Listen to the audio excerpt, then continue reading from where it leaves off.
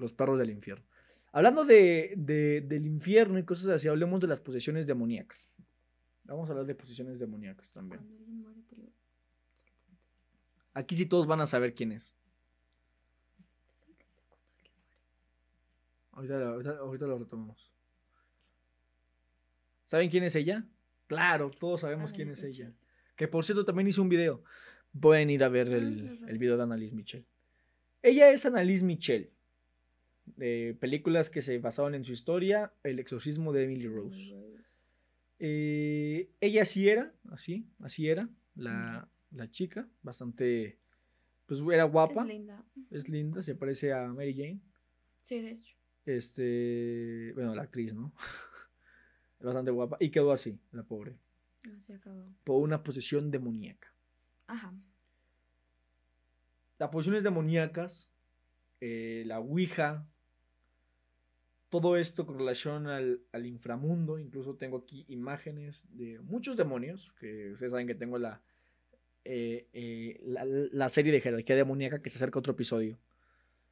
Estén atentos. Pues también es de lo mismo, ¿no? Un tulpa. ¿Cómo? Nosotros creemos que hay algo más. Nosotros creemos que nos están atacando y estamos así y- y llegan a nosotros. Pues creamos el tulpa y nos, a nosotros mismos como que nos ionizamos y empezamos a experimentar eso que se le llama la posesión. Ajá. Había un documental hace mucho tiempo que vi, que no recuerdo cómo se llama, pero lo vi en la televisión. Y es muy interesante, pero lo he querido buscar y no, ya, ya no, no está, no lo encuentro. Dice un padre, un, un- un sacerdote, un exorcista, dice, y jura, nosotros le hacemos creer al, al que está exorcizado, el que está poseído, que ya está curado. Y se curan. Qué interesante. Claro, si tú Qué le raro, dices ¿no? y ellos creen, controlan el tulpa, porque el tulpa es de ellos mismos al final del, al, al final del día. Cuando tú te comunicas con alguien, en el hecho de que salga una, un- una ouija, eres tú misma. Hay un experimento, que no recuerdo cómo se llama, que, hicieron, pero está en el documental de Iván Martínez, que unos investigadores reunieron a un grupo de personas y empezaron a hacer sesiones espiritistas. Al principio no pasaba mucho, pero cuando pasaron un mes aproximadamente, este, empezaron a pasar cosas. Empezaron a moverse cosas, a levitar, un montón de cosas. Y los investigadores aseguraron que no había nada. Era algo que ellos, que el grupo había creado. Lo único que no se podían explicar era el por qué levitaban las cosas, el por qué se movían las cosas del lugar. Pues bueno, el- en la parapsicología lo que, se pudo, lo, lo que se pudo decir es que este grupo creó un tulpa en una sesión espiritista. Entonces, hablar de sesiones de Ouija, de evocar un demonio, invocar un demonio, de posesiones, exorcismos, también hablamos y nos referimos al tema de los tulpas. Entonces es sumamente interesante, muy interesante esto. Bastante. ¿Tú qué, qué ejemplo tienes? Tienes una amiga, ¿no? Que supuestamente había sido Sí, exorcizada. Una amiga en la secundaria me contaba muchas cosas.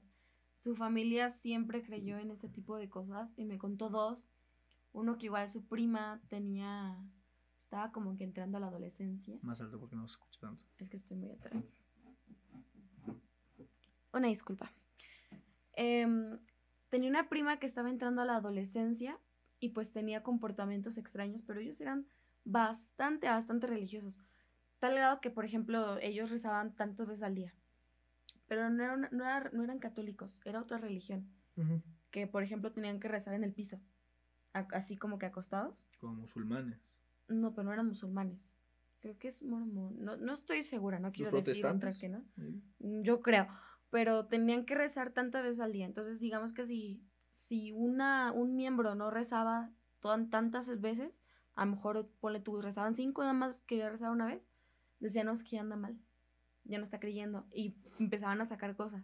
Entonces, esta chava estaba, pues, estaba en la adolescencia, apenas, y pues tenía comportamientos muy extraños, y dijo, dijeron que tenía un demonio, y que le hacían sesiones, creo que le hicieron como cuatro sesiones, y así, pero bastantes, y dijo que ella vio cosas impresionantes. porque no dejaban entrar a los niños. Entonces ya que se puso a espiar y que vio así cosas que nunca se había imaginado o, que no creería. pues la verdad yo, yo, me quedé como que, ¿qué onda? Pero me intrigó mucho. Igual me dijo que otra vez estaban en la iglesia y, y esa misma prima en, en, la iglesia comenzó como que a rechazar todo lo que, pues lo, lo que estaban diciendo la iglesia y le empezaron a hacer una sesión ahí enfrente de toda la gente. Y yo creo que eso alimenta más, ¿no? Porque ¿cuántas personas son en una iglesia? Entonces era más, yo creo. Y todo está alimentando tu, tu, propio tulpa que está dentro, o sea, que está contigo, pero que tú estás así todo ionizando. Y, yo pienso, a lo mejor la chava, pues, es adolescente y pues de repente quiere buscar otras cosas, no le interesaba.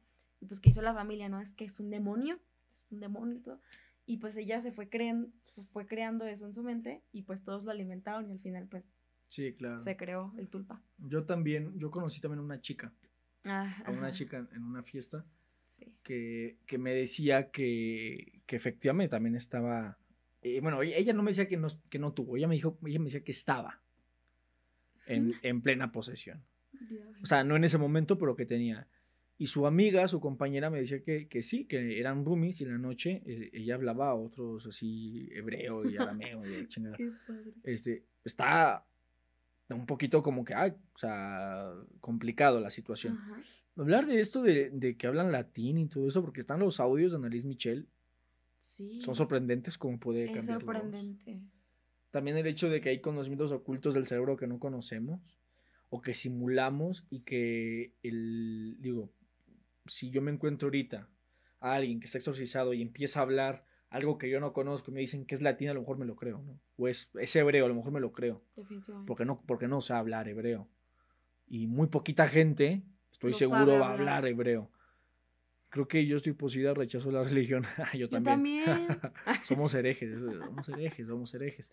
Entonces, este, imaginemos que, que, que a lo mejor los sacerdotes, los exorcistas, dicen que están hablando ciertos idiomas o tal, ¿no? Para, para alimentar el tulpa y al mismo tiempo poder aliviarlo. Tal vez. Es un tipo de manipulación. Tú das para poder después quitar todo. ¿No? Es un tipo de manipulación. Entonces, podemos mm, decir que es algo así. Mm, la verdad es que, que no lo sé, ¿no? No lo sé y es eh, una, una cuestión complicada. Vamos a hablar de los últimos temas